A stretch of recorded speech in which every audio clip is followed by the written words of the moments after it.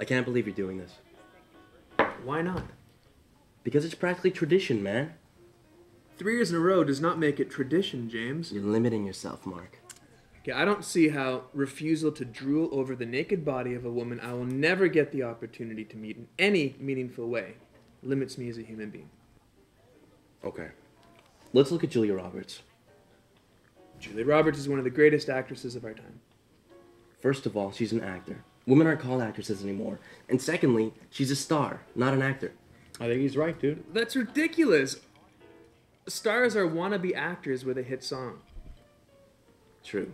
But Julia Roberts made a statement that she will never appear nude in a movie. This proves that she's a star, not an actor. How so? You can't go around making artistic rules. The whole point of being an artist is to be free. But she's setting that line because of her morality. It seems ironic that you think artists are exempt from that. Your And- table's ready, guys. Thank you. Especially since nudity is such a private and personal thing. Well, that's what art should be. The moment you start applying rules is when things get weakened in some way. If Julia read a script and decided not to do the nude scene in it, she'd be taking away from what that script was offering, artistically. Which is what? How the hell should I know? But where does it end?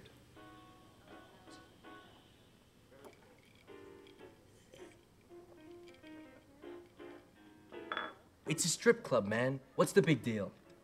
The big deal is, I seriously think that something has gone wrong with sex.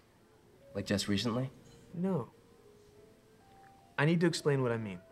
It's not even sex. We're gonna be here all day. Okay, biologically, the purpose of food is to fuel the body, Okay. just as the purpose of sex is to have kids, right? If we eat whenever we feel like it and as much as we want, we'll eat too much, but not by a terrible amount. What?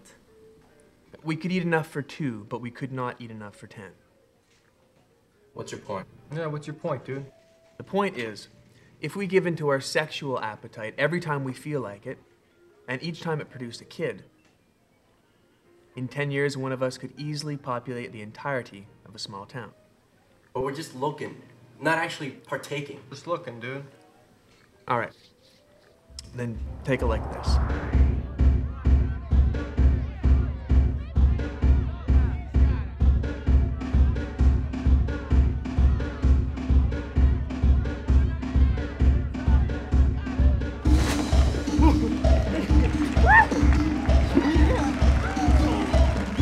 I'm not saying you should be ashamed of enjoying your food, but there's everything to be ashamed of if you make food the main interest of your life and, and spend endless hours looking at pictures of food and eating things that aren't food and doing other things with food instead of eating it.